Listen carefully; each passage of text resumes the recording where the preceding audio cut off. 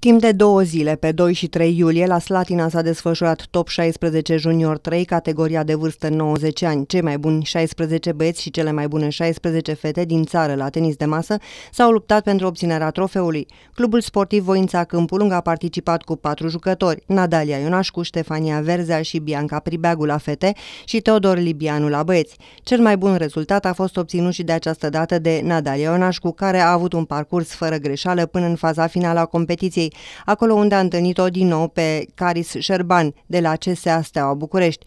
Primele două seturi au mers perfect pentru sportiva mușceleană, câștigându-le și ducând scorul la 2 la 0 în favoarea sa.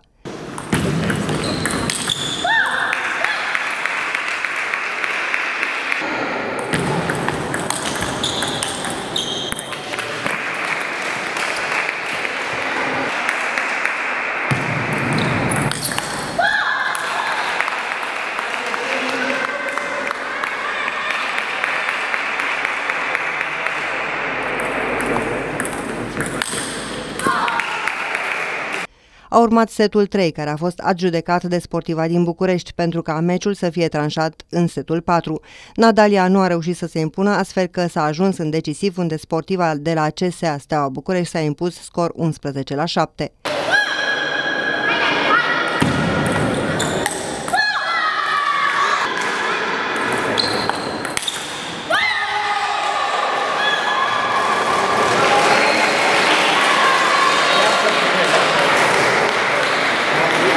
Așadar, locul 2 pentru Nadalia Ionașcu la top 16 junior 3, categoria 90 ani. Locul 2, Ionașcu Nadalia,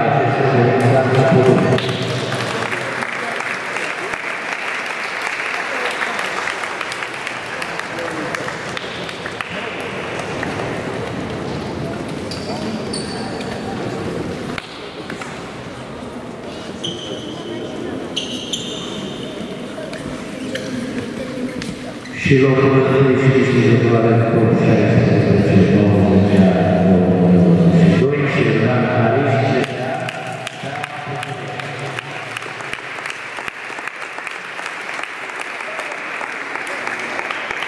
Ștefania Verzea și Bianca Pribeagu s-au situat pe locurile 5-8, fiind la un pas de pătrunderea în semifinale, în timp ce la băieți Teodor Libianu s-a poziționat pe locurile 9-12. Pentru micii sportivi urmează o bine meritată vacanță.